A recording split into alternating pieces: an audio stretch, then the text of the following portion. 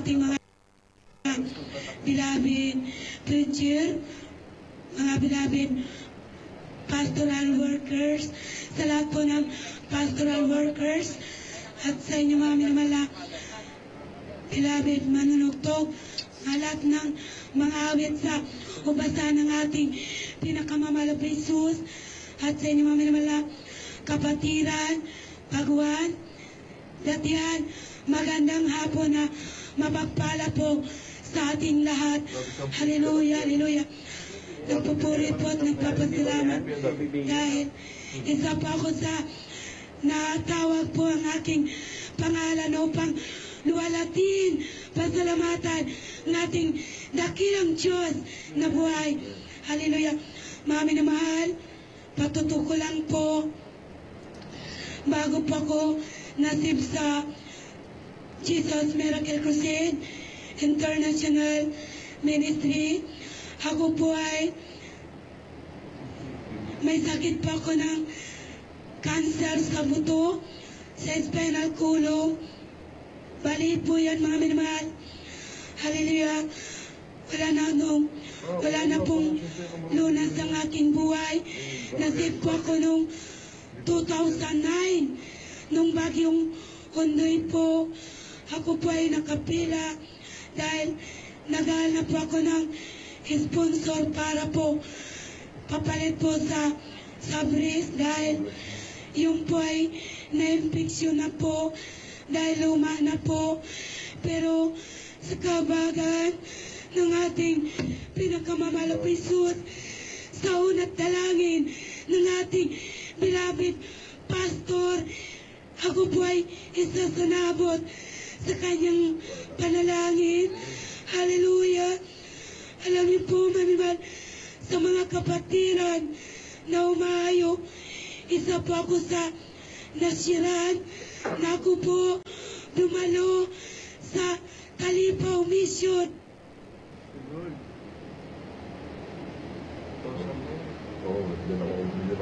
Victory dito po sa Lunita noong October 17. Wala po akong, hindi po ako makalakad kung wala pong breath at hindi po ako makapagsalita at wala po akong busis. Pero kabagan ng ating pinakamamahal na Jesus, narito sa inyong harapan, malakas at pinagaling nung tinanggap ko po yung bautismo sa tubig.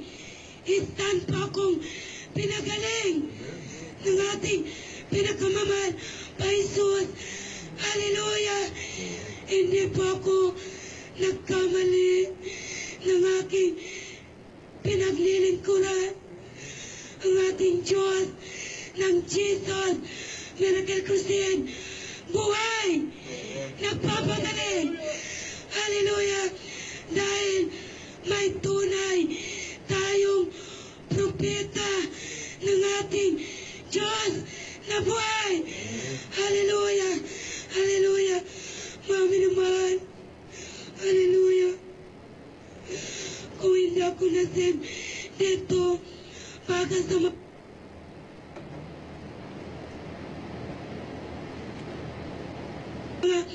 oras na ito wala na ako. Pero salamat sa ating pinakamamahal na Paisos. Narito ako sa inyong harapan. Nagpapatotoo. Totoo ang ministeryong ito nagpapagaling kahit anong uri ng karamdaman. Hallelujah. Mami naman, alam niyo po, yung breath na yan, hindi pwede tanggalin ni naman. Dahil anytime, pwede po akong mamatay. Pero dito sa Jesus Miracle Crusade, totoo, buhay. Hallelujah. Yung tinanggal ang aking breast, wala akong naramdaman kahit kirot, kahit anong sakit.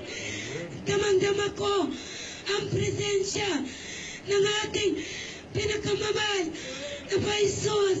Hallelujah.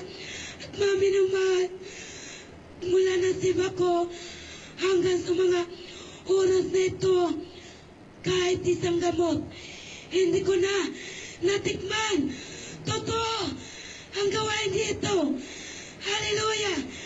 Ang gamot para po sa walang pananampalataya. Pero dito, magsisi ka lang. Buhay ang ating Diyos. Hallelujah. Hallelujah. Mami naman, yung aking ulo, binutas po yun. Binarina. Wala pong special anesthesia dahil wala pa akong pera. Pero sabi ko, pag ako may Diyos na masumpungan, mag-imala, talagang maglilingkod ako sa Kanya. Totoo, mami naman, tinugon ng ating pinakamamahal Paisos. Narito sa inyong harapan sa kabagan mainit na naglilingkod sa ating pinakamamahal Paisos na pabilang po ako sa Hayo Group. Mami naman, akala ko ako lang ang magkakamit ng kagalingan. Pero sa mga Bible study sa dakong Montalban, grabing himala, grabing pagpapala ang mga pipi dito nung nabautisman nakapagsalita. Hallelujah! Hallelujah! Kaya, mami naman, sa mga baguhan, totoo, sa mga oras to, manampalataya kayo, uuwi kayo,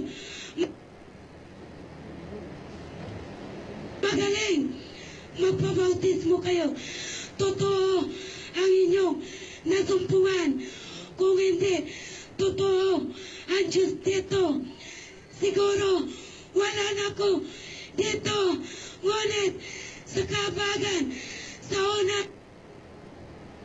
at dalangin, na, mami naman, dati, wala po akong tahanan nung nasib ako dito. Nangungupahan lang po ako, pero, Grabe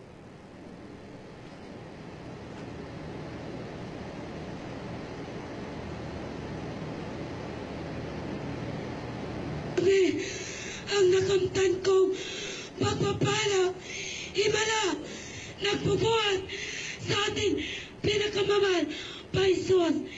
Isa rin po ko sa naman, pagagalingin, pagpapalain, higit sa lahat.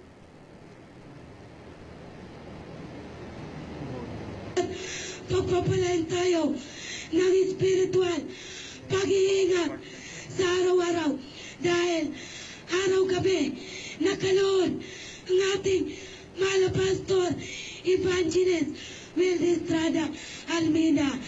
Hallelujah! Hallelujah!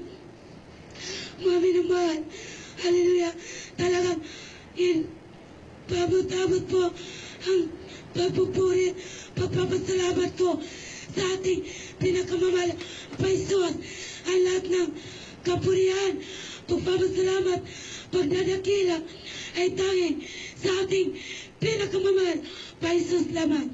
Hallelujah! Praise the Lord.